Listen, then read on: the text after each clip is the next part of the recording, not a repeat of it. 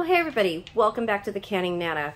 Today we have a very special video coming to you today. I am in collaboration with 29 other channels led by Jeni Gough called Crocktober. So we are showing you 30 different recipes through the month of October of how you can use your crock pot with maybe new recipes that you've never seen before. And I will tell you, these gals have had some amazing crock pot recipes and I know what's coming and there are amazing recipes coming. So make sure you follow on the playlist and go through everybody's videos. Um, I'd like to thank Jeni for including me in this. This is the first year that I'm in it. I know they've done it for se for several years and I have watched it for several years. Um, and I'm really privileged and honored to be a part of it for this year. So my contribution is going to be chicken chili. And I am going to uh, show you the ingredients or tell you the ingredients for a single batch, but what you see in front of you is for a double batch, pretty much. Um, you can make this your own. You'll see from the ingredients of what I'm doing. Um, I will tell you right now the ingredients for a single batch, and then you can double it as you want or play with it and, um, and make it your own recipe. So what you see in front of you is some chicken leg meat that is boneless. Um, I bought some on sale last week. It was 49 cents a pound, you guys. Couldn't pass it up. Uh, canning uh, some chicken with it, some ugly chicken with it, and then hopefully making some chicken soup in, in jars. So, um, or more chicken soup, I should say. So, Lipton Soup Mix, a package. Um, I use the off brand, you'll see that right here. You can also use just onion powder. And if you dehydrate your onions like I do, just put it in your, um, your processor and make fresh onion powder always as you need it because onion powder clumps up really, uh, really easily. And, uh, and just add that. Or, like I said, the onion soup mix right there. It's really easy. I'm going to be using a whole packet if you're using onion soup mix, use two tablespoons of onion soup mix per batch that you make. cream cheese. So you want one eight ounce container of cream cheese per batch that you use. Today I'm going to be using two of them. Diced tomatoes. So you see two cans here that I know in my recipes, you guys very, very rarely see canned food from the store. It's always my canned products. and I'm going to be using that as much as I can. These are in my cupboards. I do not can sweet uh, cream style corn yet. I have regular corn. The recipe actually calls for regular corn, um, but I wanted to do a little twist on it this time and use cream corn and make it even more uh, creamier. I think it'll give it a better flavor. Um, I've done it a few times with this and I really prefer the cream corn for this. And then my diced tomatoes are basic garlic and oregano. Of course, you can use Rotel. Um, I'm also adding some hatch chili peppers that I had frozen and saved. Um, and you can, you can add this for a little bit of spice. We're also going to be adding a little bit of cumin, so spice as needed. Um, if you like it a little bit spicy, add some hatch peppers or just some uh, chili peppers. Canned chili peppers are fine or you can buy fresh chili peppers in the store, roast them, and throw them in. Be delicious. We're going to be using a packet per batch for of ranch dressing. Again, um, this is not the brand name. This is an off-brand. I believe this was from Aldi that I got a sale on, um, gosh, several months ago. So I'm going to be using that. So one packet of uh, ranch dressing per batch that you do. We're also going to be using a packet of chili. Um, I have a ton of these because I'm a Watkins uh, consultant as well. Don't really promote that very much, um, but their chili mix is, is amazing. So again, one packet of chili per batch that you make. Um, let's see. Beans. So you're going to be adding beans. I'm This calls for black beans, so I'm going to be adding my black beans but I'm also doubling my recipe. So again, I'm gonna be adding some of my pinto beans. So, um, and I do have some of my canned whole Roma tomatoes that I made, um, a little bit left over from last night's dinner that we made. Uh, so I'm going to be putting these in there too. And I'm just going to put these in whole because they're going to, um, this is going to cook for several hours and it's going to cook down and um, it, it's just going to give it really, really good flavor. And then of course my, um, a little bit of garlic because I add garlic to everything because I'm Italian, you guys, so that's my excuse. Lots of garlic and everything. Okay, and then when you're all done with this dish, you're going to want to have cheddar cheese and maybe some tortilla chips to top it with, and it'll be absolutely delicious. So I am not going to be editing this video today. Um, what I'm going to be doing is showing you how to put this together completely through, and then on my community page and on the picture for the video later on when this is all done, um, this the picture will be on the video um, of the prepared meal. So make sure that you check out my community page for uh, the picture as I go and what it looks like when we're uh, serving it because it's it's delicious, you guys. Um, this is one of my go-tos uh, when I just want something different, some comfort food, don't really want regular chili, um, and just want something something totally different. It's really good. Okay, let's start putting it together. Okay, so I need to open my beans first. Let's see if we hear that little rush of air come through. Oops. There we go. Good seal on that one.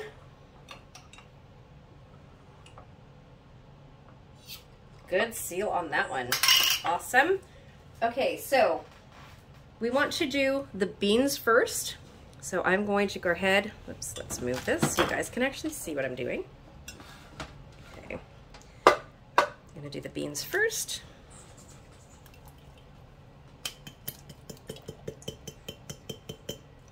Okay, now that I have the beans, this one can of beans, I'm going to start turning it on high. I'm going to get a spoon. Okay, the next thing I'm going to be doing because I like garlic, you guys. I'm going to be adding some of my garlic. Just going to add a little bit. That's a little bit to me. Um, this is some of my minced garlic that I do at home. Put the lid on that so it doesn't stay out. And I'm going to put the black beans in there.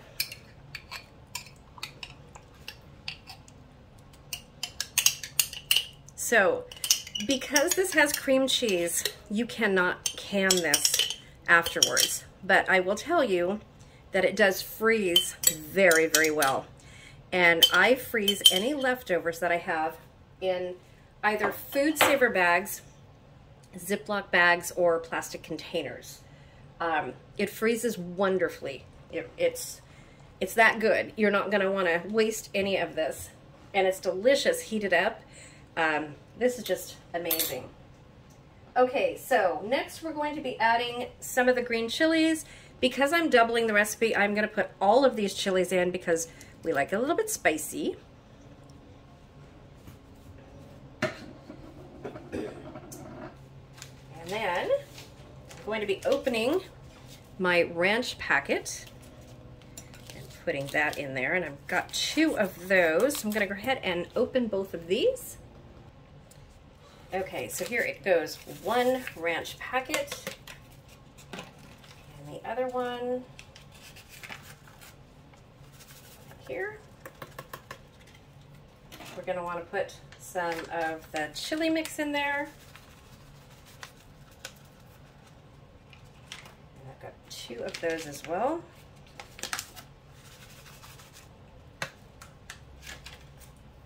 Okay, we're going to add our cream corn.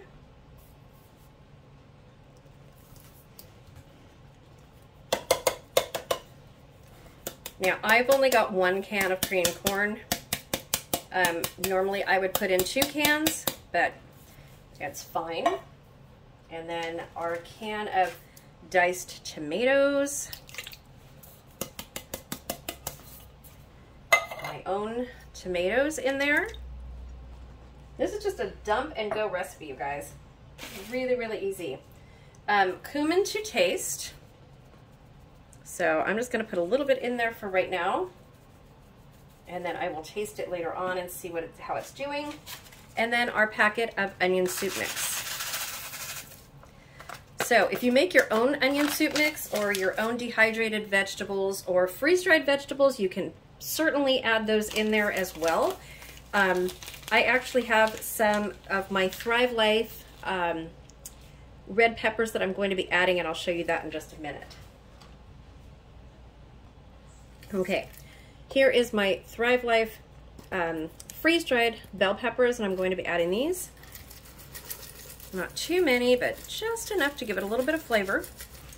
And these will refresh in here um, as it cooks, so no worries there.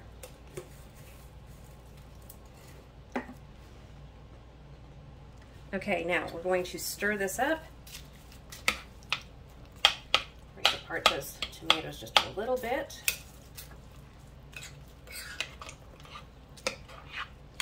So this is, I want to say this is an eight quart, um, I think it's an eight quart uh, crock pot. So this is bigger than it looks. I know it doesn't look that big. Let me, I should have done this the other way because I am right-handed and it's my left wrist that's been hurting me. Okay, so this is going to be nice and thick. Can you guys see that? It's going to be nice and thick. Um,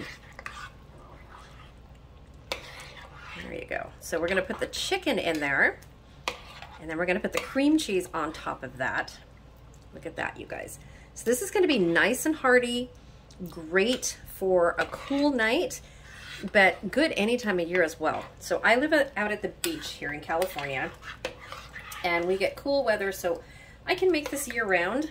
Um, so when I make a big batch, so I can I can quadruple this recipe um, and I will freeze some and I just eat it year round. It's so good, you guys. But again, um, if you want to, to can this, you would have to can it without the cream cheese and add the cream cheese later. Look at that. Okay. So we're to start adding our chicken. Okay, first piece of chicken that I had left over. Put that in there. Throw this away. Okay, I'm to add the rest of the chicken. Just put the chicken in there. And again, these are legs. I do prefer thighs. There's a lot of fat on here and I cut off as much as I can. It's okay if you have a little bit of fat in there. This is going to cook all the way through until it's shredded. Um, it'll be shreddable, I should say. Shreddable. Okay, so I'm going to add the cream cheese on top of that. And I cut the cream cheese in chunks, so I'm just gonna lay it right on top. Cut it even smaller. And the cream cheese is going to just melt right into this. So I only cut one cream cheese right now. I need to get another one out and add that to this. Okay, so Got these chunked. I'm just gonna put these down into the chili. I've got, I'm working kind of with one hand, you guys. So I've got um, a bump on my wrist that we thought was a ganglion cyst, but it's not. Um, so I'm usually in a brace, but I take it off when I can, which is a no-no. And um, fighting some other health problems right now. But I am doing what I can because uh, I love to teach and I love to uh, show how we do things, you know, how we make things. And I wanted to be a part of this collaboration that was planned a couple months ago, I think. Okay, so that is all the ingredients. So our pot is hot already. I'm just going to start pushing things down in the pot. I'll do it with my left hand so you guys can see what I'm doing here. And as this cooks, the cream cheese is going to melt. So this is actually going to be a white or whiter chili because of all the cream cheese. And when this is finished, you can also add, or, or when it's almost finished, um, you can add some cream, uh, some sour cream to it as well. It's very good with extra sour cream. or you can serve it with a dollop of sour cream on top. So there we go. So this is going to cook for about five to six hours. Um, and I have it on high right now. I'm going to lower it down a bit. If you want to um, quickly cook this, you can keep it on high for two to three hours and it will be ready. Um, no problem. So there you go. That is our chicken chili, you guys. So, like I said in the beginning, I'm not going to edit this video. I'm not going to show the finished product right here, but I will probably do a special video later on um, or tomorrow and show you the finished product. It will also be a picture on my community page. Um, I also want to let everybody know that um, I, I did just reach 7,500 subscribers, but I'm doing a 7,000 subscriber giveaway. Um, and that was just extended until Friday um, for some personal reasons that I have to do um, because of my health. So I won't be able to do it this afternoon like it was supposed to be done. Um, but I'm adding some extra prizes. And some of the prizes are an electric kettle, um, a water bath canner, um, there are ball canning books, there are USDA canning books, um, there are my uh, debubblers from my channel. This is what that looks like. These are clear. Um, this all comes off right here. Um, these are specially made for my channel and they're available also in my Etsy store, um, Jack and Diane Designs. But I'm going to be giving away quite a few of these. And uh, some Thrive Food, Thrive Life Foods. Um, lots of lots of stuff that I'm giving away, you guys. Uh, canning lids are one of them. Um, if you're new to my channel, I've been getting canning lids for um, numerous people for the last three to four months because I'm able to find them in my area. Um, so I've been selling them at my cost plus shipping.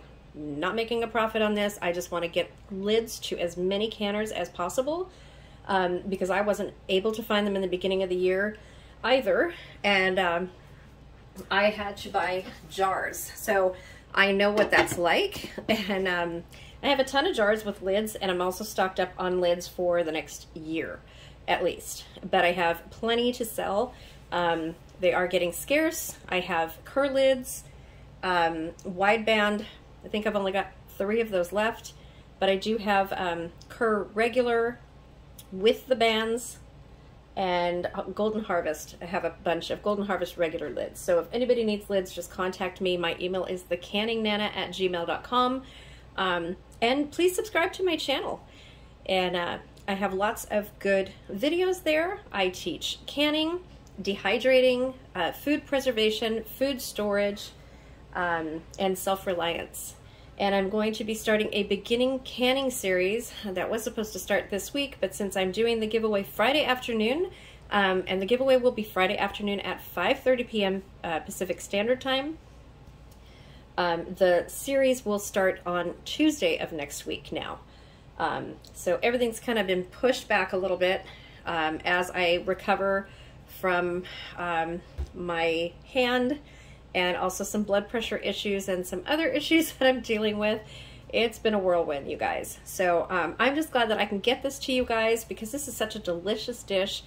And um, don't forget to check out the playlist. I'm going to uh, put that in my description probably this evening or tomorrow morning because I'm not going to be available um, after this video is done and it posts. Um, but Thank you for watching. Please subscribe to my channel. Watch for hashtag WOTD, word of the day, to enter my giveaways. And it's usually in the middle or the end of the video. And for the next giveaway, for my 7,500 subscriber giveaway, um, the word of the day for today, for this video, is going to be crockpot. So um, just put crockpot in the comments below and you will be entered to win in the random drawing. Um, there from today on uh, until we do the next giveaway, which will be probably early November um, to mid-November. We'll see what's going on. Um, but there will be a dehydrator being given away then, and um, a herb grinder, um, veggie grinder, and I lots of videos showing you guys that. Uh, after you dehydrate, I make all my powders and things like that, my own seasonings. Um, so I hope you join me at my channel, and uh, it was a pleasure to make this for you today. Thank you again to Jeni Gough and um, the other 29 ladies and gentlemen that are absolutely amazing and uh, glad again to be a part of this. Thanks for watching, you guys.